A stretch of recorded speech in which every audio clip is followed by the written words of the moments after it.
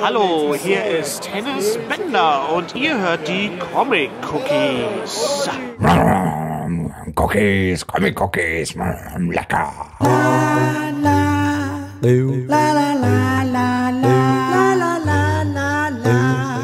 Hallo zusammen zu dieser ja, etwas kürzeren wahrscheinlich Sonderausgabe der Comic Cookies. Mein Name ist Andy und zwar der Andy aus Nürnberg und heute mit mir dabei ist noch der Breedstorm. Hallo Breedstorm. Einen wunderschönen guten Tag. Breedstorm und ich haben uns heute zum Zeitpunkt der Aufnahme zusammengefunden, um einen kleinen Techniktest hauptsächlich auszuführen und da haben wir gedacht, machen wir einfach gleich eine, eine Probeaufnahme und sprechen ein bisschen über Comics. Überraschung bei den Comic Cookies. Das heißt, wir haben jeder jeweils einen Comic vorbereitet, den wir uns gegenseitig vorstellen werden. Aber hauptsächlich, wie gesagt, geht es uns darum, diese, diese Technikgeschichte mal zu testen. Und da springt dann, wenn alles klappt, für unsere lieben ZuhörerInnen noch eine ja, kleine Zwischen-Comic-Cookies-Folge mit, mit bei raus. Ja, wir haben nicht viel vorbereitet, außer diesen beiden Comics. Momentan äh, läuft das Comic Festival München zu dem Zeitpunkt der Aufnahme. Das ist so aus der Comic-Welt jetzt gerade so ein bisschen das, was, was passiert. Ähm, weiß nicht, Breedstorm, hast du irgendwelche großen Comic-News oder irgendwelche Dinge, die, die gerade besonders sind, wichtig sind, erwähnenswert sind? Nein, auf keinen Fall. Wir haben natürlich auch gerade noch das große Gewinnspiel laufen. Bis jetzt diese Folge hier, bis ihr das hört, ist das Gewinnspiel dann auch vorbei. Aber da gibt es dann demnächst die große Auslosung. Ähm, aber da werden wir dann in der nächsten regulären Comic Cookies Folge natürlich dann auch noch drüber sprechen. Okay, ähm, dann sagen wir einfach mal kurz, was wir heute vorstellen. Ich fange mal an. Ich habe mitgebracht ähm, einen für mich raren Ausflug in das Marvel-Superhelden-Universum. Äh, Menschen, die mich schon öfter bei den Comic-Cookies gehört haben, werden wissen, dass ich nicht so viele Superhelden-Comics lese. Und dann, wenn ich so in mein Regal gucke, habe ich in der Vergangenheit doch hauptsächlich Batman gelesen. Aber wir haben ja hier bei uns in der Region, also in der fränkischen Region, einen Comiczeichner, der hin und wieder für Marvel zeichnet, Jonas Scharf. Und der hat, ich meine, was war letztes Jahr ähm, die Miniserie Avengers of the Wastelands gezeichnet und über die werde ich heute sprechen. Breedstorm, was hast du heute mitgebracht?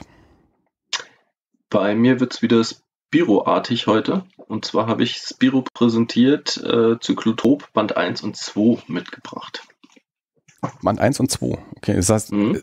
äh, gut, bin ich, bin ich gespannt. Äh, wusste ich noch gar nicht, dass das zwei Bände sind oder dass du zwei Bände mitbringst. Bin ich sehr gespannt, äh, was du zu, zu berichten hast. Ähm, dann leg doch einfach gleich mal los damit. Ja, also Spiro, ähm, wissen alle Comic-Cookies-Hörer ja schon längere Zeit, ähm, feiern wir eigentlich schon sehr. Gerade, ich denke, bei uns beiden ist es sehr groß, weil wir das als Kind schon ja. gelesen haben und da einfach eine Beziehung dazu entwickelt haben. Und äh, ich ja, Spirou war für mich so die erste Comic-Reihe, die ich wirklich aktiv verfolgt habe. Also vorher habe ich halt immer so mal hier, mal da, da mal ein Band und hier mal ein Band und da mal ein Heft. Und, und als dann Spirou in mein Leben getreten ist, war ich dann auch in einem Alter, wo mir das, das Konzept dann auch so klar war, so von, von Reihen, äh, dass es eben nicht nur so das gelegentliche Heft am Supermarktregal irgendwie so gibt, sondern dass es dann eben auch so mehrere Bände gibt. Und vor allem bei mir war es dann die die Stadtbücherei beziehungsweise der Bücherbus erstmal, der hier bei uns in, also jetzt nicht hier, wo ich jetzt gerade noch wohne, aber damals noch, wo ich wohnte im Dorf, vorbeigekommen ist, äh, wo ich dann wirklich immer darauf gegeiert habe, quasi den nächsten Spirou-Band dann auch lesen zu können und wo dann auch mein, mein Taschengeld über Jahre dann immer hingeflossen ist. Äh, ja, Spirou und dann natürlich auch die ganzen anderen Carlsen rein noch, aber Spirou war so die, meine erste ja, Figur, die ich verfolgt habe. Ja, ich bin, bin da, wie gesagt, etwas später äh, jetzt wieder dazugekommen. Mein Wiedereinstieg bei den Comics war deutlich von Superhelden geprägt und dann durch Vertigo ähm, und ähnliche äh, Sachen, Image sicherlich. Aber vor einigen Jahren habe ich mir dann alle alten Spirou-Bände nachgekauft und äh, ja, auch da hat man ja schnell festgestellt, es gibt unterschiedliche Zeichner mit unterschiedlichen Fähigkeiten und äh, ja, was mir nie so richtig gut gefallen hat, waren die äh, die Bände nach dem, äh, ja, ich weiß nicht, ob das, ob das ein äh, Wiedereinstieg bei Spiro war, aber es gab Äh, in Deutschland ist der, der letzte Altband, möchte ich es mal bezeichnen, Jagd auf Spiro Nummer 44, 1998 erschienen. Und die ersten neuen, die sind 2005 erschienen und zwar alle vom, äh, also von 2005 bis 2008 sind alle Bände von Morvan und äh, Munuera äh, als Kreativteam ähm, äh, in den Handel gekommen. Und das waren tatsächlich dann die Bände, die mir, als ich mir die ganzen alten Sachen nachgekauft habe, nicht so gut gefallen haben. Mhm. Weil mir war der Strich von Monoera einfach oft einfach zu, zu modern, zu, zu skizzenhaft, zu, also es hat nicht gepasst. Ich wollte in dem Moment, wo ich mir die ganzen alten Bände nachgekauft habe, wollte ich einfach viel von dem, was ich früher teilweise gelesen habe, nochmal haben. Ich wollte Sachen, die so ähnlich sind und ich wollte auf keinen Fall mich auf irgendwas Neues einlassen. Zwischenzeitlich hatte ich mich aber schon äh, mit anderen äh, Comics, also später von Monuera äh, der ein spanischer Zeichner ist, 72 geboren, also jetzt ja, auch so, so wie wir, eher so, so mittelalt, würde ich mal sagen. Also sogar älter als wir. ja, sogar älter auch noch, aber, aber nicht viel. nicht viel. Und äh, dachte ich, gebe ich dem mal wieder eine Chance, zumal mit dieser, äh, die, die Reihe an sich mit, mit Rummelsdorf, hatte ich ja schon vorgestellt, auch schon sehr gut gefallen hat, also die Spiro präsentiert Reihe. Und er hat, äh, ja, er hat halt die ersten drei Bände dieser Reihe gemacht und ich glaube, der nächste Zyklotrop-Band ist auch für den Dezember angekündigt, habe ich jetzt äh, herausgefunden. Also es geht weiter. Und der Zyklotrop ist ja schon ja, der, der, der klassische Gegenspieler eigentlich von Spiru, ne, das, äh, der immer mal wieder auftaucht, immer mal wieder versucht, die Weltherrschaft an sich zu reißen, meistens auf eine sehr lustige Art und Weise und dabei scheitert. Also er ist ja auch so ein bisschen so eine, so eine tragische Figur, äh, in dem Band ist beschrieben, ja, er versucht böse zu sein. Also er ist kein Bösewicht, sondern er versucht böse zu sein und schafft das eigentlich nicht so richtig. Und das trifft es, glaube ich, eigentlich so ganz gut. Und äh, diese Reihe beschäftigt sich demnach nur mit Zyklotrop und dem Universum, was darum aufgebaut wurde. Denn schon gleich der erste Band heißt äh, Die Tochter des Z. Und äh, ja, Zyklotrop hat eine Tochter, die gleich sehr schön eingeführt wird am Beginn, indem sie nämlich ins Kino geht mit einem jungen Herren. Und der gute José Munuera äh, hat da gleich einige, wie soll ich sagen, leichte Kritik an Episode 9 vorgelegt, äh, indem sie nämlich in Star Battle Episode 9 gehen und äh, ja, gleich die, also die ersten Blasen sind schon deutlich Kritik in Richtung, wie sich diese Serie da weiterentwickelt hat bei Star Wars. Ne? Das ist alles so ein bisschen, ja, es ist ja nicht Star Wars, aber eigentlich reden wir doch hier genau über Star Wars. Und das setzt sich in dem Band vor. Also es geht später noch um popkulturelle Anspielungen mit Indiana Jones und ähnliches. Also da baut er schon ziemlich viel mit ein und das auch da ist die Grenze ja oftmals so, wann, wann wird es schlimm, wann findet man es gar nicht mehr lustig, aber ich finde, er hat da noch die Kurve gekriegt und das äh, sehr lustig eingebaut, die ganze Geschichte. Jedenfalls geht da eine junge Dame mit pinken Haaren, mit einem jungen Herrn ins Kino, als plötzlich es dann doch so ein bisschen romantisch wird. Und nach dem Kino versucht der junge Herr der jungen Dame mit dem blonden, äh, mit dem pinken Haaren einen Kuss zu geben. Wird aber dann natürlich gleich von einem Zyklobot angegriffen, weil es Zyklotrop natürlich nicht akzeptieren kann, dass seine Tochter da äh, hier unsittlich äh, von einem jungen Herrn da berührt wird. Und so entspannt sich so ein kleiner Kampf in Paris mit einer Menge, mit einer Menge Kollateralschaden, wo eigentlich nur Zyklotrop versucht, seine Tochter zu holen und diesen Verehrer da auszuschalten. Und ja, diesen Vibe setzt die Serie dann äh, die ganze Zeit fort. Also Zyklotrop als Vater ist schon ein sehr behütender Vater, der keinesfalls möchte, dass seine Tochter da irgendwie irgendwas mit irgendwem anfängt. Und wenn sie da so in seiner Bergfestung sitzen und er ihr versucht, das Leben zu erklären, ist sie natürlich sehr rebellisch. Ja, also sie ist, sie ist, sieht nicht nur girly-mäßig aus, sie hatte auch so diesen, diesen Re Rebellencharakter, dass sie gern mal gegen ihren Vater rebelliert und das ist letztendlich, worum es in dieser Serie auch geht. Ja, das, äh, es äh, stellt sich dann raus, das ist jetzt kein Spoiler, weil schon ziemlich früh erklärt wird, dass äh, sie ein Android ist. Also Zyklotrop hat sich seine Tochter selbst gebaut. Er baut ja immer eine Menge Zyklobots. Er hat zum Beispiel einen eigenen Butler, der eine Version seines Zyklobots ist. Und so ist seine Tochter auch ähm, äh, ein, ein Android, aber natürlich auf einem deutlich höheren Level als die ganzen Angriffsroboter, die dann immer scharenweise abgeschossen werden. Und ja, wir erleben dann die Abenteuer des Zyklotrop, wie er versucht, die Weltherrschaft an sich zu reißen, meistens scheitert. Seine Tochter findet es auch nicht immer gut, wenn er da versucht, die Weltherrschaft zu übernehmen. Wenn er zum Beispiel mit ähm, Despoten, die kleine Länder besetzt haben, in Verhandlungen tritt und denen Militärgeheimnisse äh, verrät. Weil eigentlich sagt die Serie, die einzige Erfindung des Zyklotrop ist eigentlich der, der Zyklostrahl. Alles andere hat er mithilfe dieses Zyklostrahls quasi äh, aus den Köpfen von Leuten rausgezogen, von Militärs. Also er setzt ja immer sehr viele Kampftechnik ein, Kampfhubschrauber, Kampfroboter, Drohnen etc. Aber das sind alles eigentlich nur Dinge, die er in irgendwelchen Militärlabors mit seinen Zyklomännern geklaut hat. Und äh, ja, da sehen wir auch einige Versuche, an, wieder an Geld zu kommen, weil das erklärt dann auch das Rätsel, wie er immer wieder es schafft, äh, riesige Festungen zu bauen. Das ist alles Geld, was er mit gestohlenem Wissen gemacht hat. Auch im Band 2 hat er sich mit, mit, mit neuen Despoten verbrüdert und liegt wieder im Clinch mit seiner Tochter, aber da wird eine weitere Figur eingeführt. Und zwar ist das der Lehrling des Bösen, wie auch der Band heißt. Nämlich ein, ja, ja, sicherlich noch unter zehnjähriger Junge, der ebenfalls versucht, der, der, der Beherrscher der Welt zu werden und der eigentlich nur bei Zyklotrop in die Lehre geht. Und Zyklotrop hat natürlich Besseres zu tun, als äh, sich mit so einem kleinen Emporkömmling zu beschäftigen.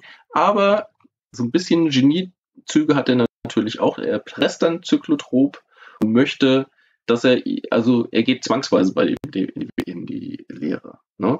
Und dieser Knabe heißt übrigens auch Cedric und zwar mit Z natürlich geschrieben, damit es evil ist auch halt. Ne? Das, das, das muss natürlich sein und damit es auch so anfängt wie bei Zyklotrop. Und auch da gibt es natürlich sehr schöne Kämpfe, sehr viel Slapstick und aber auch hier wieder sehr viele Anspielungen auf Popkultur. Ich hatte ja den Zeichenstil ähm, in der reinen Spiro-Reihe schon kritisiert. Und ich glaube, das war vornehmlich deswegen, weil ich Spiro halt wirklich so sehen wollte wie früher, dass es aussieht wie bei Franquin und dass sich da wenig Veränderungen zu ergeben. Und das hat Munuera natürlich in seinen Bänden schon gezeigt, dass er, dass er da einfach einen neuen, moderneren Stil bevorzugt, den er auch sowieso selber hat. Deswegen hat mir das bei Spiro nicht so gefallen. Hier, wo Spiro und Fantasio die ganze Zeit äh, bislang nicht aufgetaucht sind, stört mich das überhaupt nicht. Also hier passt es sehr zu diesen ja, Hollywood-ähnlichen äh, Actionsequenzen, zu den Flugszenen, zu den Kämpfen. Da passt es eigentlich sehr gut und unterhält mich auch sehr gut. Ich würde wenn ich es bewerten müsste, immer noch hinter den, immer noch hinter den letzten Spiro-Bänden oder auch hinter den ähm, Spiro in verschiedenen Zeitebenen oder hinter dem Spiro in Berlin und so weiter, da, da würde ich das alles hinten anstellen, aber nicht viel weiter. Ja, also wenn man Spiro mag und die Figur des Zyklotrops, ist das sicherlich was, wo man reingucken kann, wenn man nicht zu sehr äh, wie ich am Anfang von diesem von diesem Zeichenstil abgehalten wird.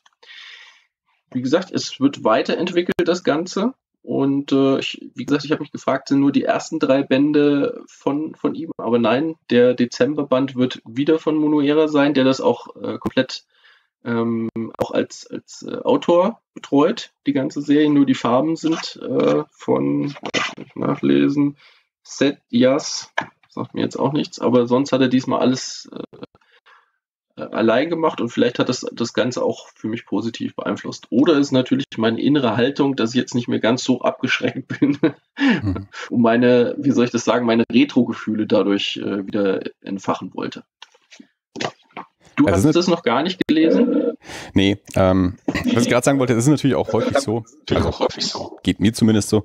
Auch wenn man ja, wenn man gewisse Erwartungen auch an den Film oder sowas hat und dann das nicht so ganz ist, wie man es eigentlich gern, gern hätte, aber dann wenn man dann das nochmal schaut oder nochmal liest oder nochmal in Berührung kommt und dann, dann das auch weiß, ja, also wenn man dann den, diese, eine andere Erwartung mitbringt, weil man eben schon weiß, das ist zeichnerisch anders, als ich es beim ersten Mal erwartet habe, dass man dann milder ist. Ja, also vielleicht hast du dich jetzt auch an den Zeichenstil in gewisser Weise gewöhnt und natürlich auch eben in dem Kontext, dass du einfach die Figuren Spirou und Fantasio ähm, jetzt hier nicht so präsent hast und eigentlich anders sehen möchtest. Aber ja, finde ich, finde ich interessant. Nee, ich habe ähm, ich hab die nicht gelesen. Ich habe ich hab le leider ja wirklich schon seit vielen, vielen Jahren keine, keine neuen Spirou-Sachen gelesen. Ich habe ja vor einer Weile mal hier die, diesen ersten Band vom, vom Superpagen vorgestellt und davor war das letzte, ich habe gerade mal nachgeschaut, das letzte, was ich gelesen habe, war hm, Spirou in Tokio. Das war einer von den Monuera-Bänden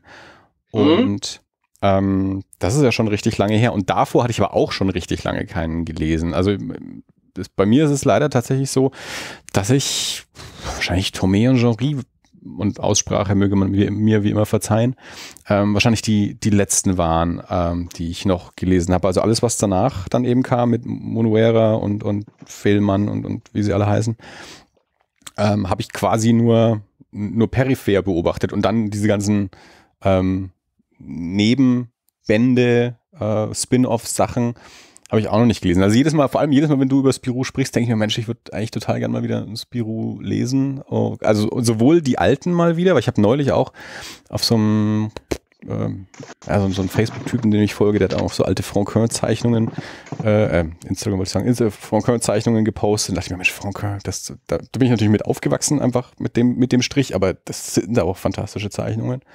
Also einerseits hätte ich Bock, wirklich die alten Abenteuer mal wieder zu lesen und aber auch schon seit vielen Jahren denke ich mir, Mensch, gerade so diese neuen Sachen, die sehen auch immer ganz spannend aus und ich höre auch immer gute Sachen drüber und so. Und ab und zu blätter ich mal rein im Comicladen, würde ich auch immer ganz gern mal wieder lesen. Und dann ist es halt eins von vielen Dingen, die ich eigentlich mal lesen möchte, wo ich mir dann überlegen muss, okay, äh, wo, wo investiere ich mein Geld rein und wo investiere ich den Regalplatz rein, weil ich bin mittlerweile wirklich an einem, an einem Punkt angelangt, wo es so ist, okay, wenn ich mir neue Comics kaufe, muss ich quasi alte Comics aussortieren. Ähm, da, da irgendwann, irgendwann endet das halt einfach mit diesem Platz.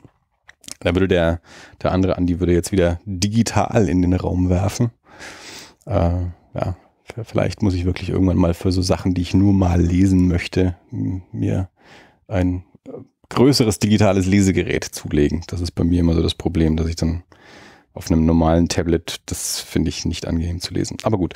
Ja, also äh, klingt, klingt eigentlich ganz cool. Ich war gerade bei dem ersten Band, den du vorgestellt hast, sehr an Ich einfach unverbesserlich erinnert. So dieses äh, super, super Bösewicht, der sich mit, mit, mit Kindersorgen oder hier jetzt Teenager oder junge Dame äh, Sorgen irgendwie, irgendwie rumschlägt und ähm, äh, ja, ist quasi die, die, die, die, die Kindererziehung mit den Mitteln eines Superbösewichten super Bösewichts äh, betreibt, aber auf, auf humorige und wahrscheinlich auch irgendwie sympathische Art trotzdem. Die Figur ist ja doch, also es gäbe ja nicht all diese Geschichten um Zyklotrop, wenn er äh, nicht irgendwie den, den, den LeserInnen auch irgendwie sympathisch geworden wäre. Aber also es, es klingt, als, als wäre das eine recht launige Angelegenheit, so für, für zwischendurch. Ja, also es, es kommt nicht an, äh, an so tiefere Sachen wie zum Beispiel, was Emil Bravo jetzt macht mit hm. ja, Verquickung mit, mit, mit äh, dem Zweiten Weltkrieg oder so. Und da, da kommt es natürlich nicht ran. Das will es aber auch gar nicht. Das will einfach ein, ein Funny sein, der gut unterhält und das schafft er ganz gut. Ja. Er sagt, ich bin ja nicht so der Funny-Leser und wenn, dann muss ich einen Bezug dazu haben. Ich, ich würde jetzt nicht eine neue Funny-Serie, weil, weil das, das, das wäre jetzt nichts für mich. Aber hier, wo ich die Figuren kenne, wo ich das Universum so ungefähr erahnen kann, da funktioniert das super für mich. Eine Besonderheit wollte ich zum Abschluss noch erwähnen, in jedem von diesen zwei Bänden waren diesmal auch äh, Doppelseiten drin. Also du hast dann quasi im Album, wo du jeweils äh, noch, äh, also du hast dann quasi eine Viererseite, wo ist zwar interessant, weil die nicht immer komplett äh, ausgenutzt wird als, als Riesenzeichnung, wie man das so kennt, sondern auch da sind recht viele Panels verbaut. Aber es ist auf jeden Fall eine schöne äh, Spielerei, die sie da reinbastelt haben. Also so zum Ausklappen? Ja. Ah, okay. Ja. So, so. Oh ja, okay. Und zwar in allen beiden, und zwar, und zwar in allen beiden Bänden war das drin. Ob das im dritten, den habe ich jetzt noch nicht. Aha. Wird sicherlich auch noch mal irgendwann an mich herangetragen. Und äh, Okay. dann Du will hast ich dazu berichten. Das finde ich ja im Album, vor allem im, im Softcover-Album interessant, weil ich finde, also gerade so, so, eine, so eine Klebebindung äh, ja auch in gewisser Weise etwas delikat, wenn man die zu weit auseinanderzieht. Also da, ähm, da war ich zumindest früher immer sehr, sehr penibel mit, mit meinen Carlsen-Comics auch, dass ich die nicht so weit irgendwie auseinanderdrücke. Und dann, wenn man dann so eine, so eine Doppelaufklappseite irgendwie hat, dann, das muss man dann ja schon irgendwie auf den, auf den Tisch legen und ein bisschen auseinanderziehen, dass man das lesen kann. Ja, ich glaube, sie haben das schon mit einberechnet und haben das schon so, dass das in der Mitte jetzt nicht so die mega wichtigen Sachen sind. Also du musst es nicht komplett aufknäulen, Hm. damit du siehst, was da passiert. Also das, das, das haben sie sich schon Mühe gegeben. Ich gebe dir natürlich recht, früher musste man bei den Carlsen-Alben natürlich auch sehr vorsichtig sein, weil die schon teilweise vom normalen Lesen die Bindung äh, auseinandergegangen ist. Ja. Deswegen habe ich dieses, dieses Albenformat auch lange abgehalten, aber das haben sie ja wirklich jetzt schon lange Jahre im Griff. Also hier, wie gesagt, die beiden hatte ich mir auch gebraucht besorgt und äh, da merkst du gar nichts. Okay, ja gut, ich meine, ich, ja, ist natürlich auch, auch lange her, die Zeiten, von denen ich hier jetzt rede. also meine, meine Erfahrung mit Carlsen-Bindungen ist jetzt auch nicht mehr auf dem neuesten Stand. Das stimmt natürlich, ja.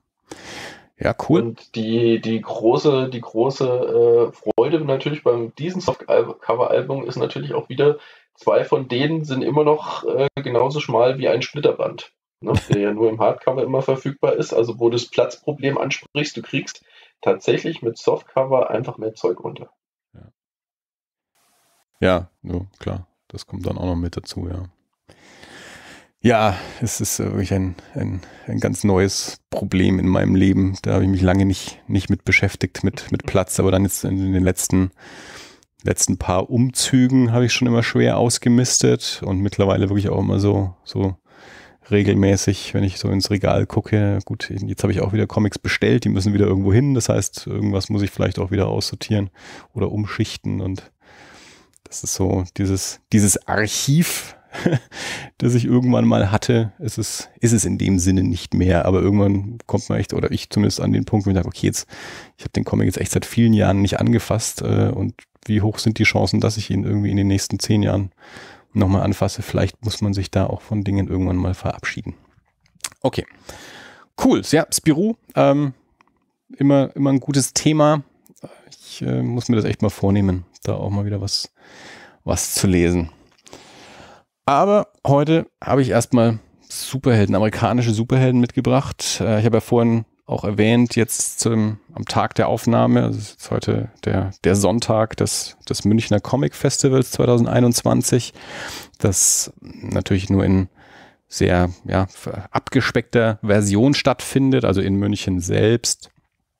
Es äh, gibt verschiedene Ausstellungen, also es ist mehr als, als Comic-Museum München angelegt und dann gibt es so ein bisschen ein paar so Online-Streams äh, von Veranstaltungen. Und gestern am Samstag gab es da eben auch ein Gespräch mit Jonas Scharf. Also in München ist jetzt auch noch bis, bis in den September rein sogar. Also jetzt nicht nur über das Comic Festival Wochenende. Manche Ausstellungen sind jetzt nur für diese vier Tage. Aber die Ausstellung im Amerika-Haus zu 60 Jahre Marvel-Universum, die ist auch bis in den September rein. Also die möchte ich mir auf jeden Fall auch noch anschauen. Große Ausstellung mit vielen Originalseiten durch die Jahrzehnte hinweg von verschiedensten Marvel-Zeichnern und vielleicht auch Zeichnerinnen, darüber kann ich jetzt gerade nichts sagen. Und ähm, Jonas Scharf, eben hier aus der, aus der Nürnberger Region, hat in den letzten Jahren schon einige Sachen für Marvel gezeichnet. Der hatte auch das Plakat für diese Ausstellung in München gemacht und hat auch selber ein paar Seiten in der Ausstellung. Und gestern gab es eben da ein Gespräch mit ihm. Michael Komper, der Kurator der Ausstellung, hat ihn da ein bisschen interviewt. Ähm, wir hatten bei meinem anderen Podcast das alles, Jonas auch schon zweimal zu Gast, glaube ich, mittlerweile. Also vor ein paar Jahren schon sind wir da mal in, in ihn herangetreten. Ähm, das heißt, ich stehe ein bisschen in Kontakt mit dem und habe, glaube die meisten seiner Sachen gelesen. Jetzt gerade hat er eine neue Serie bei, bei Boom, Basilisk. Die, da kam jetzt gerade das erste Heft raus und mit Cullen Bunn. Und mit Cullen Bunn hat er vorher schon die zwölfteilige Reihe Bone Parish auch bei, bei Boom gemacht, die ich sehr gut fand. Aber wie gesagt, zwischendurch hat er eben auch mal bei, bei Marvel ähm, gearbeitet. Er hat erst eine fünf-, sechsseitige Kurzgeschichte in einem Avengers Halloween Special gemacht und dann jetzt eben diese fünfteilige Reihe Avengers of the Wastelands. Und wie gesagt, ich lese ja sehr selten Superhelden und fast noch seltener Marvel-Superhelden. Und wenn das jetzt nicht Jonas gewesen wäre, hätte ich mir das auch nicht geholt. Aber bei Jonas ist das irgendwie so ein Ding, da, da hole ich mir dann sogar die Hefte, da warte ich dann noch nicht mal aufs Paperback, weil ich dann irgendwie denke, ja Mensch, die, die jungen Künstler aus der Region muss man auch irgendwie unterstützen. da, da mache ich dann sogar immer ein Heft-Abo für, für seine Sachen. Und ähm, ja, wie zu erwarten, äh, nachdem ich mich in diesem Universum nicht aktuell besonders gut auskenne, ähm, kann ich jetzt auch über so, ja, wei weitere Zusammenhänge oder sowas gar nicht viel sagen. Ich bin ein bisschen darauf angewiesen, was mir die Zusammenfassungen in den Heften auch sagen. Also ähm, es spielt in diesem Old Man Logan Universum. Also in den Heften heißt es dann auch, ähm, dass die, die Ereignisse in dieser Geschichte nach Old Man Logan, Old Man Quill und Dead Man Logan stattfinden. Alles drei Geschichten, die ich nicht gelesen habe. Also ähm, das ist ein, ein Universum, das mir relativ fremd ist, aber aus den Heften heraus kann ich mir natürlich auch erschließen. Also die machen das dann ja schon irgendwie auch ein bisschen für, für nicht regelmäßig Leser zugänglich, indem sie äh, in jedem Heft immer auch so eine Zusammenfassung des vorangegangenen Hefts mit voranstellen.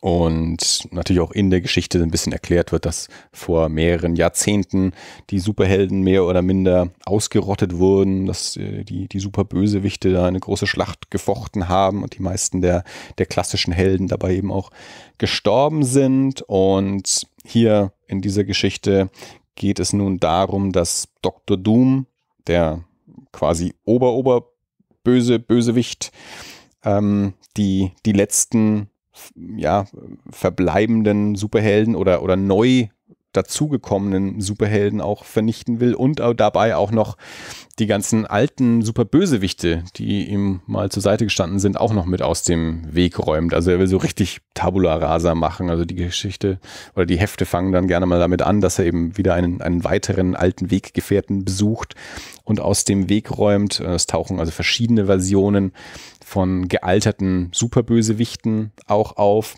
Und bei den Helden ist es eben eine, eine junge äh, Riege an, an Nachkömmlingen. Also ähm, Thor, die, die Thor-Figur ist übernommen von Danny Cage, die Tochter von Luke Cage und Jessica Jones.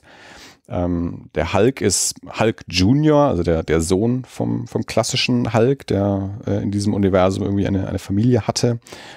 Dann gibt es einen neuen Ant-Man namens Dwight, zu dem ich keinen Nachnamen habe, und einen neuen Captain America namens Grant, zu dem ich auch keinen Nachnamen habe, der eigentlich aus der ähm, aus Dr. Dooms Armee kommt. Dr. Doom ähm, hat das, das Super Serum ähm, eingesetzt, hat also verschiedene Menschen gesucht, denen er das Super Serum verabreichen kann, um sich so eine Superhelden- oder Super-Soldaten-Armee zusammenzustellen. Ähm, davon haben aber nur zwei äh, im Endeffekt das ganze Experiment auch überlebt und einer davon war eben Grant, der dann äh, irgendwann an den Punkt kam, wo er sagte, das, das, das funktioniert so nicht, ich gehe jetzt auf die andere Seite und zieht sich dann das Captain America Kostüm an. Ähm, ist aber, ja, dadurch, dass er eben auch aus, aus dieser Bösewicht-Armee auch irgendwie kommt, ein recht äh, derber Typ, was dann innerhalb dieser, dieser Gruppe auch zu Spannungen führt. Also die Geschichte geht damit los, dass dieser neue Ant-Man ähm, trifft auf, ähm, auf Dr. Doom. Also Dr. Doom kommt und zerstört die, die Stadt, wo dieser, dieser junge neue Ant-Man ist, tötet dort alle seine Freunde, Familie und auch sonst alle anderen Menschen. Und dieser junge Ant-Man macht sich dann auf die Suche, kommt dann auf die Farm, wo ähm, Danny Cage und, und der junge Hulk äh, sich zurückgezogen haben und erzählt ihnen äh, davon. Und äh, da taucht dann auch Doom und seine Armee auf und die jungen Helden machen sich dann eben auf den, auf den Weg. Also es stellt sich dann raus, das war nur ein Doom-Bot in, in, diesem, bei diesem Angriff, den sie dann auch besiegen können. Aber dann machen sie sich eben auf, ähm, um, um Doom zu stoppen und unterwegs äh, treffen sie dann eben noch auf den, auf den neuen Captain America, dann treffen sie noch auf ähm, Viv oder Vivian Vision, ein, eine, ich weiß gar nicht genau, in welcher Beziehung die jetzt nur zur, zur Original Vision steht. Ähm, genau, und treffen natürlich immer wieder auf, auf Hindernisse und Gegner und, und es kulminiert in diesen fünf Heften dann eben irgendwann auf die endgültige Zusammenkunft, dass sie dann eben auf Dr. Doom treffen und eine natürlich die, die letzte Schlacht quasi ausfechten und da dann im letzten Heft auch rauskommt, so die, die wahren Beweggründe des, des Dr. Doom für, für alles, was er jetzt in diesen fünf Heften hier, hier angestaltet, äh, angestellt hat, diesen quasi Feldzug gegen seine alten Mitstreiter und gegen die, gegen die jungen Empörkömmlinge unter den, ähm, unter den Superhelden. Also es endet dann auch so ein bisschen quasi mit der einer, einer Neuformierung oder dem, dem Beginn einer Neuformierung von neuen Avengers. Also der, der letzte Text äh, im, im allerletzten Heft, das soll jetzt, ist jetzt auch kein großer Spoiler, ist also die letzten Worte, die gesprochen werden von, von Danny Cage Thor sind It's time for us to rebuild. Es, wie gesagt, es ist natürlich jetzt halt storymäßig, ist, ist ganz cool, also so diese, Auflösung im fünften Heft hat mir dann ganz gut gefallen. Bis dahin war es so ein bisschen, es plätschert ein bisschen hin. Ähm, ist jetzt keine besonders riesigen Höhepunkte. Mir fehlt da wahrscheinlich auch einfach so ein bisschen der, der Zugang zum Gesamtuniversum. Wahrscheinlich sind auch irgendwelche Bezüge drin zu anderen Geschichten, die dann zwar hier gerne mal so mit so Sternchen, kennt man ja so in der Sprechblase dann Sternchen und dann steht unten, ja, bezieht sich irgendwie auf Old Man Logan oder irgendwie sowas, dass ich dann halt nicht gelesen habe. Also da, das ist jetzt ein, wahrscheinlich ein, ein Mehrwert, der mir entgeht. Andere Leser sehen da wahrscheinlich dann, ah, das ist total cool, das bezieht sich dann hierhin und das bezieht sich und das passt damit rein und das ist, das gibt denen dann was, was, was mir hier jetzt dann eben ein bisschen entgeht. Ähm, die Geschichte ist geschrieben, das habe ich auch noch gar nicht gesagt, von, von Ed Brisson, von dem ich glaube ich auch noch nichts gelesen habe. Ähm, die Farben sind von, und auch hier wieder äh, Aussprache möge man mir verzeihen, Nirai Menon oder Niraj, Niraj Menon und äh, das Lettering ist von Corey Petit. Wie gesagt, ich habe es halt gekauft, weil Jonas es gezeichnet hat und von Jonas Zeichnungen halte ich extrem viel. Also ich bin tatsächlich großer Fan seiner, seiner, seiner Zeichnungen, uh, habe auch das Gefühl, dass sie sich über die Jahre auch tatsächlich immer weiterentwickelt haben. Ähm, es ist gerade in Schwarz-Weiß, also Jonas arbeitet ähm, traditionell auf Papier mit Bleistift und Tusche. Äh, Computer nur, wenn er irgendwie nachträglich irgendwelche Änderungen oder Verbesserungen machen muss äh, vom, vom Verlag aus, die, die schneller auf dem, auf dem Rechner zu machen sind. Aber an sich ähm, arbeitet er analog. Das etwas, was mir auch generell sehr sympathisch ist. Da bin ich großer Fan von. Und er hat einen hervorragenden Schwarz-Weiß-Stil. Also er arbeitet wirklich mit, mit viel Tusche auf der Seite, sehr kräftige, kräftiges Schwarz. Das mag ich sehr, sehr gerne. Das heißt, ich habe jetzt natürlich auch schon über verschiedene Serien von ihm, ihn mit verschiedenen Koloristen gesehen und finde, da funktionieren manche besser, manche schlechter. Ähm, jetzt hier bei Avengers of the Wasteland finde ich das okay. Also ich glaube, dass da mit einem anderen Koloristen seine ähm, Jonas-Zeichnungen noch ein bisschen mehr ähm, poppen könnten, aber das passt schon. Aber insgesamt, ähm, ja, also das ist, glaube ich, eine ganz okay Geschichte. Äh, mir war es teilweise ein bisschen viel Text, gerade so im ersten Heft, weiß ich noch, wie ich das erste Heft, als es neu war, gelesen habe, dachte ich mir, boah, da sind aber teilweise schon echt viele Worte auf einer Seite, da bin ich nicht immer Fan von. Da habe ich manchmal das Gefühl, da kann man auch ein bisschen eleganter erzählen, indem man weniger äh, weniger Text auf einer Seite hat. War ich hatte es gestern alle fünf am, am Stück durchgelesen. Ist mir jetzt gar, gestern nicht mehr so irgendwie so unangenehm aufgefallen, wie es beim ersten Mal äh, war. Ähm, der die Geschichte ist sogar auch auf Deutsch erschienen, also dadurch, dass Jonas äh, ja eigentlich nur für amerikanische Verlage arbeitet und da jetzt nicht an nicht immer an den ganz großen Sachen dran ist, ist vieles von ihm äh, nicht auf Deutsch erschienen. Äh, Avengers of the Wastelands gibt es wohl als, als Sammelband auch bei, ähm, bei Panini. Ich habe jetzt eben hier, wie gesagt, die amerikanischen Hefte gelesen.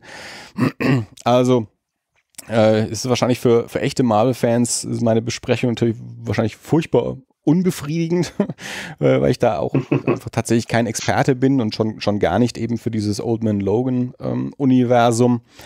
Mir ging es jetzt hauptsächlich darum, äh, zum einen, weil das jetzt mit dem, mit dem Comic Festival München ganz gut zusammenpasst mit dieser, mit dieser Ausstellung und auch mit dem, mit dem Gespräch mit Jonas und weil ich einfach sowieso nie müde werde, äh, Jonas Scharf in Deutschland noch ein bisschen mehr zu pushen, weil ich immer das Gefühl habe, den, den, den kennen noch gar nicht genug Leute, eben weil nicht so viel von ihm auf Deutsch übersetzt ist. Äh, und weil ja er jetzt eben nicht, nicht direkt an, an Captain America gearbeitet hat, sondern eben viel für, für Boom. Also er hat ja einen, ein paar Hefte für, für die Power Rangers Serie gemacht vor ein paar Jahren, dann eben hier Bone Parish. Ähm, er hatte die Prequel-Reihe zu, zum letzten Planet der Affen-Film gemacht, War for the Planet of the Apes. Da gab es einen Prequel-Comic, den hat er gezeichnet. Das erste, was er gemacht hat, war Warlords of Appalachia, so eine Creator-owned ähm, Miniserie, auch für Boom.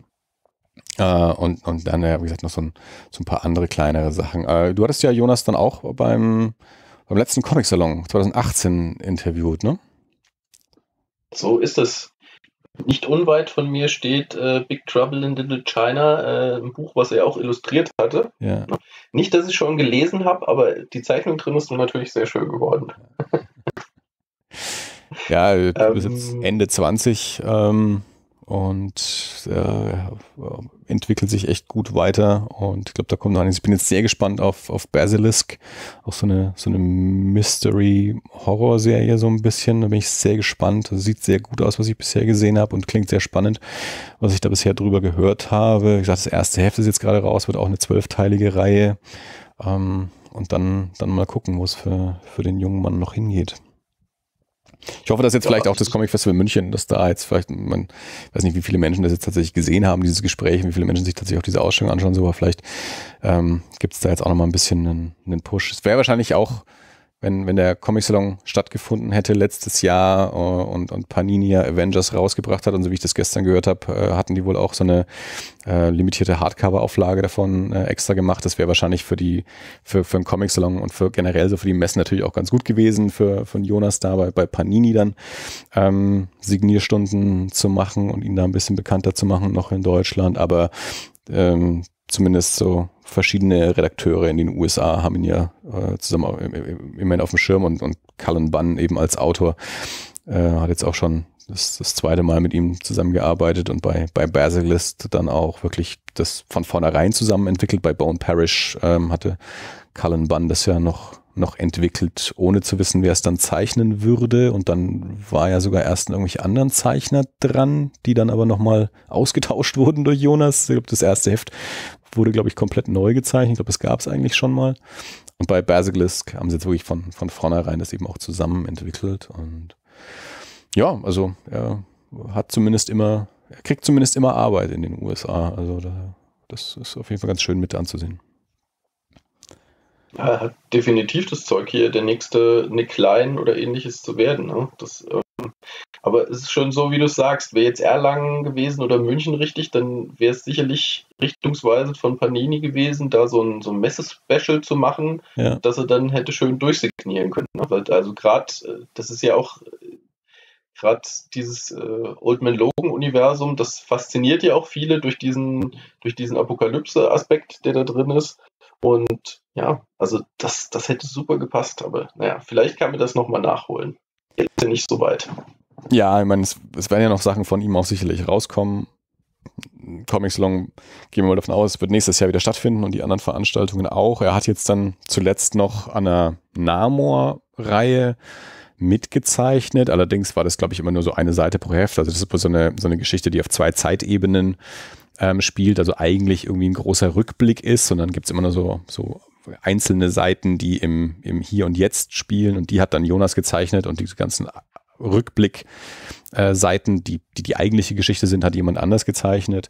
Ähm, also von daher auch, auch wenn es bisher jetzt nie so die ganz großen langfristigen Sachen bei Marvel waren, haben die ihn da zumindest auch auf dem, auf dem Schirm und, und geben ihm zwischendurch auch immer Arbeit. Ist natürlich auch immer so die Frage, also ich weiß bei ähm, die, die haben ihn schon länger mal gewollt. Die haben schon länger bei ihm angefragt, aber da war er dann eben gerade mitten in, in Bone Parish. Das heißt, da noch einige Monate auch, auch gebunden. Deswegen hat er dann mal zwischendurch eben diese paar Seiten von dem Halloween Special machen können, weil er die so dazwischen schieben konnte. Äh, und diese, diese fünf äh, Hefte Avengers konnte er dann neben machen, als, als Bone Parish dann, dann vorbei war und er auch wieder Zeit hatte für sowas. Jetzt ist er erstmal wieder bei Basilisk. Er hat es gestern erzählt. Also er hat jetzt vier Hefte hat er jetzt fertig gezeichnet. Also acht kommen für ihn noch. Das heißt, da ist er jetzt auch erstmal wieder eine, eine Weile gebunden. Wobei ja, da bin ich sehr gespannt. Er hat gestern auch schon erzählt in diesem Gespräch, dass er zwischendurch äh, noch eine, eine 48-seitige Graphic Novel irgendwie ein Album noch, noch zeichnet, über das aber noch nichts noch nichts bekannt ist. Da bin ich sehr gespannt, was das ist. Also äh, schaut euch Jonas Schaf auf jeden Fall mal an, findet ihr natürlich auch auf Instagram und so. Äh, ganz toller Zeichner. Er hat letztes Jahr während der Pandemie natürlich auch nicht so viel zu arbeiten gehabt, hat dann aber viel ähm, Illustrationen auch gepostet. Der hat dann irgendwie sich mit, mit, so mit deutschen Sagen und Legenden irgendwie beschäftigt, irgendwelche Rittersachen und so. Und hat ganz, ganz tolle Illustrationen ähm, ge, gepostet, hat sich mittlerweile auch mit Farbe mehr vertraut gemacht. Also er hat jetzt auch bei Avengers Cover ähm, selber gemacht, wenn ich so mich jetzt nicht komplett irre. Ähm, und und äh, auch, auch da hat er schon, schon coole Sachen gezeigt. Also ja, guter, guter Typ und auch ein super netter Kerl. Also ich habe den ja schon öfter mal auch mit dem getroffen und gequatscht, wenn, wenn er mal Zeit hat, so ein, so ein Comiczeichner, äh, bei dem scheitert es oft an, der, oft an der Zeit, aber ja, super sympathischer, lustiger Kerl auch. Ähm, also das kann man auf YouTube auch nachschauen, eben äh, auf dem Kanal vom Amerika Haus das Gespräch mit Jonas Schaf und am Tag davor, am Freitag, gab es auch ein Gespräch mit Nick Klein, eben auch genau, äh, hier wieder auch Michael Komper im, äh, im Zuge der, der Marvel-Ausstellung ein Gespräch mit, mit Nick Klein, der jetzt momentan eben den, den Tor zeichnet, mit geschrieben von Donny Cates. Ja, hast du von, von Jonas Comics eigentlich irgendwas gelesen schon? Nee, tatsächlich, wie gesagt, war es die einzige. Ich hatte mir digital, hatte ich mir diese Dings geholt. Wie hieß es? Appalachia hatte ich mir digital Warlords of Appalachia, ja. Hm? ja. Da bin ich ja auch durch das alles dann äh, drauf gekommen. Und ähm, ja, wie gesagt, ich hätte an dem Tag gern noch so ein bisschen, bisschen mehr gekauft, aber er hatte halt auch nicht so wahnsinnig viel da halt, was er hätte signieren können. Ne? Ist ja. halt schwierig mit den, weil vieles nicht auf Deutsch erschienen ist und er hat ja jetzt nicht eine Kiste mit äh, 20 Heftausgaben oder sowas dabei. Ne? Das, ja, das, ja. Das, das 2018 so war da auch noch, noch, noch nicht so viel gesammelt raus, ja. Ja, jetzt halt mittlerweile gibt es halt die komplette Bone Parish. Die war damals noch nicht raus und so. Mhm. Ja. Aber wie gesagt, die nächsten Messen kommen mit Sicherheit und äh, ja, da ja. erhoffe ich mir da einiges. Aber es ist halt schade, diese, diese zwei Jahre, die jetzt dadurch verloren sind. Das merke ich sehr oft, dass ich bei gewissen Bänden einfach immer so gesagt habe, naja, in Erlangen oder in München oder in beiden, da wird der oder diejenige bestimmt schon sein, das brauche ich mir jetzt nicht kaufen, weil das kaufe ich mir dann, wenn ich es mir signieren lasse. Hm. Ne? Ja. Weil, weil ich ungern mit, äh, mit einem Koffer durch die Gegend reise, wo meine Comics drin sind. Nicht, dass ich das nicht schon getan hätte, also nicht im Koffer, sondern mit einem Kofferraum voller Comics, die ich habe signieren lassen, jahrelang schon. Mhm. Aber einfacher ist es doch, ich kaufe den Kram da. Und dadurch, dass jetzt nichts stattgefunden hat, ist tatsächlich ja, bei, bei manchen Leuten einfach weniger Kohle hingeflossen. Muss ich ja. muss ganz klar sagen. Ist halt leider so. Ja, nee, verstehe ich. Mhm. Klar. Und wie, wie, gerade gesagt, also da, damals 2018 in Erlangen äh, also er hat ja bei Ultra Comics signiert, also nicht, nicht bei einem Verlag, sondern eben hier beim, beim Comicladen, die ja auch immer einen Stand haben und, und auch mit, mit Carlsen zusammen eigentlich meistens sich den Stand teilen. Und die haben auch seine Comics immer da, also auch sowohl im, im Geschäft, also dann da natürlich dann eben auch im, äh, auf, dem, auf dem Salon gehabt. Aber es war eben natürlich gerade noch nicht so viel wirklich ähm, raus. Also es gab halt das, das Warlords Paperback, es gab diesen ähm, Big Trouble ähm, das Buch, das du gerade erwähnt hast. Ähm, und ansonsten, ich glaube, die Planet der Affen war, glaube ich, auch noch nicht gebunden raus, bin mir nicht ganz sicher. Äh, aber ja, jetzt mittlerweile, wie gesagt, eben Bone Parish gibt es drei Paperbacks, aber wie gesagt, eben auch nur auf Englisch. Und ich glaube, Avengers ist jetzt wirklich das momentan das einzige wahrscheinlich, das auf Deutsch auch, auch raus ist, weil es halt bei Panini raus ist, die ganzen Boom-Sachen. Gibt es nicht. Ich weiß nicht, ob, ob, Power Rangers auf Deutsch übersetzt werden, keine Ahnung. Käme nie aus. Da mhm. jetzt der andere Andi gerade aktuell wohl tief drin im Thema. Na gut, aber wir werden von Jonas, glaube ich, noch einiges sehen. Ähm, und wenn ihr, wenn ihr des Englischen mächtig seid, dann ähm, greift einfach zu den, zu den englischen Sachen. Also Bone Parish kann ich wirklich empfehlen. Zwölf Hefte, drei Paperbacks, ähm, coole, coole Crime äh, Story mit ein bisschen einem, einem mystischen übernatürlichen Einschuss. Ähm, kommt, kommt daher wie so eine, wie so eine HBO-Serie. Äh, das ist wirklich, wirklich cool. Und jetzt eben Basilisk ganz neu. Mal kann man mal einen Blick hinwerfen. Ich habe es noch nicht gelesen. Der erste Hälfte ist jetzt diese Woche gerade erschienen. Ich habe es noch nicht. Ähm, Aber sieht auf jeden Fall schon mal sehr gut aus. Also allein wenn man wegen seiner Bilder lohnt sich Jonas Scharf auf jeden Fall. Cool. Mhm. Dann ähm, sind wir mit den Comics durch. Breedstorm, willst du noch irgendwas loswerden? Ja, ich möchte was loswerden und zwar Seebel Portol Kütz. so, jetzt äh, hat er sämtliche Schläfer aufgeweckt, äh, die jetzt losziehen äh, im, im, Namen des Z äh, ihre, ja. ihre ähm, Missetaten äh, zu begehen. Ja. Cool, dann äh, soll das quasi das Schlusswort gewesen sein. Vielen Dank fürs Zuhören bei unserem kleinen Techniktest und dann hören wir uns bald wieder in einer regulären Folge der Comic Cookies. Bis dahin, macht's gut, lest Comics. Adieu. Adieu.